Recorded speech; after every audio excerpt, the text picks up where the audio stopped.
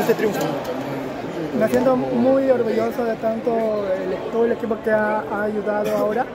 Creo que ahora los resultados están dándose, que los cada entrenamiento de día y tarde hemos, hemos dado duro y ahora se ve el resultado.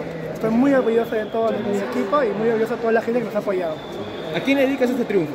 A mi mamá y a todos a ti por la provincia de Saltipo. Agradecido con ellos, por todo el apoyo que me están dando desde la mañana hasta la noche, me escriben, me dicen todos los felicidades. Gracias.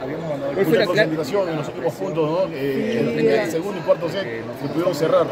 Sí, mucha, mucha intensidad. Creo que todos querían acabar el partido, querían una vez ya acabarlo todo, pero creo que con tranquilidad hemos, hemos acabado todo el partido. Este resultado invita a soñar para poder clasificar mañana a Paraguay, luego Argentina paso a paso, quizás la semifinal contra Colombia, que hizo pendiente ante Brasil.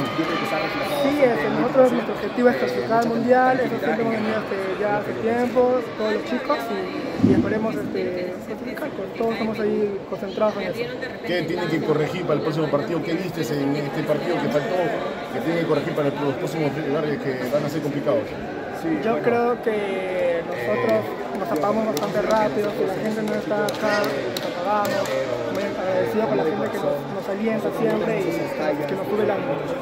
Bien, estuvo en el de... ¿Cómo se siente jugar así en condición de local? El público estuvo apoyando en todo momento. La verdad me, siento muy orgulloso porque siempre he querido para acá, en mi país, y, y espero que, los, que se llene más el coliseo, que nos apoyen, literalmente el gol masculino necesita apoyo y, y agradecido con todos. Muchas gracias por la entrevista y te deseo el mayor éxito en tu próximo partido. Gracias. Jorge, una invitación para el público para que venga el día de mañana a apoyar contra Paraguay. Este, hago una invitación a toda la población peruana y a la población satipeña. Si, si están acá en Lima, por favor, vengan a a nosotros que necesitamos de su apoyo. Gracias. Listo, Jorge.